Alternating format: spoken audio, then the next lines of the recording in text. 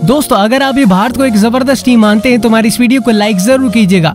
दोस्तों, भारत और इंग्लैंड के बीच खेले जा रही टेस्ट श्रृंखला में भारतीय टीम ने जहाँ शुरुआत के दो मुकाबलों में शानदार प्रदर्शन करके दिखाया था, वहीं तीसरे मुकाबले में भारतीय टीम के खिलाड़ियों ने बड़ी शर्मनाक प्रदर्शन करके दिखाया, जिसके बाद तो भारतीय टीम की आलोचना पूरे विश्व में हो रही थी। इसी बीच इंग्लैंड के दिग्गज ऑलराउंडर खिलाड़ी बैन स्टोक्स ने भारतीय खिलाड़ियों को लेकर एक ऐसा बयान दे डाला, जिसको सुनने के बाद तो आपके भी होश उड़ जाएँगे। तो चलिए, आपको बताते हैं, ऐसा क्या कहा बैन स्टोक्स ने अपने बयान में, लेकिन उससे पहले आप सभी को क्या लगता है? भारत और इंग्लैंड में से कौन ज़बरदस्त टीम है? नीचे कमेंट सेक्शन में कॉमेंट करके ज़रूर बताइएगा। दोस्तों, भारत और इंग्लैंड के बीच खेली जा रही पाँच मुकाबलों की टेस्ट श्रृंखला में अब तक तीन मुकाबले खेले जा चुके हैं और दोनों टीम एक एक मुकाबला जीत कर श्रृंखला में बराबरी कर रखी है। भारतीय टीम ने श्रृंखला में जहाँ पहले दो मुकाबलों में बड़े शानदार प्रदर्शन करके दिखाया, वही तीसरे मुकाबले में भारतीय टीम के खिलाड़ियों ने इतनी ज़्यादा निराशाजनक प्रदर्शन करके दिखाया है, जिसकी कल्पना तो खिलाड़ियों ने भी नहीं की थी और न ही भारतीय प्रशंसकों ने करी थी।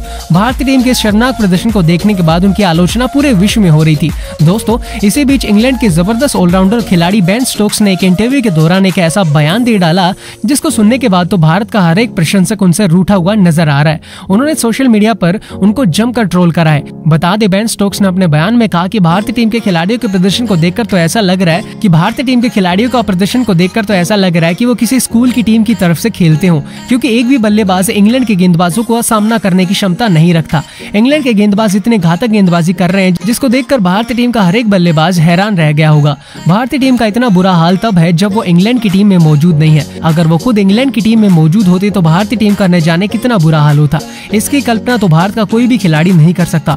भारतीय टीम बाकी के मुकाबलों में इतनी निराशाजनक प्रदर्शन करके दिखाएँगे, इस बात का उन्हें पूरा विश्वास है और इस श्रृंखला में इंग्लैंड की टीम चार एक से जीतेगी। भारतीय टीम का रवैया मुकाबले के दौरान मैदान पर इतना खराब देखने को मिल रहा है, जिसे देखकर उन्हें काफ़ी ज़्यादा गुस्सा भी आया और निराशाजनक भी लगा। भारतीय टीम के खिलाड़ी सिर्फ़ बातों से ही इंग्लैंड की टीम का सामना कर सकते हैं।